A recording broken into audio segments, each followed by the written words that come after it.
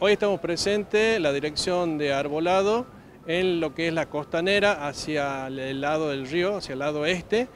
donde se están plantando 80 ejemplares de árboles. Tenemos 30 de jabonero de la China y 50 de fresno americano.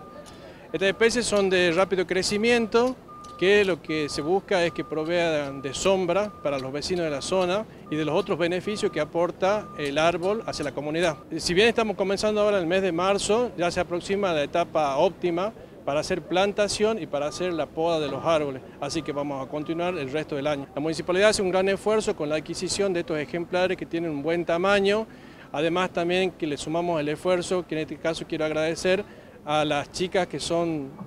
las promotoras ambientales, que son las que hicieron el cavado, la apertura de los pozos, el tapado, la colocación de los tutores. Entonces lo que le pedimos a los vecinos es la colaboración del cuidado, que no se los rompan los árboles y si en el caso que vean que tienen algún daño, nos avisen para reponer el ejemplar.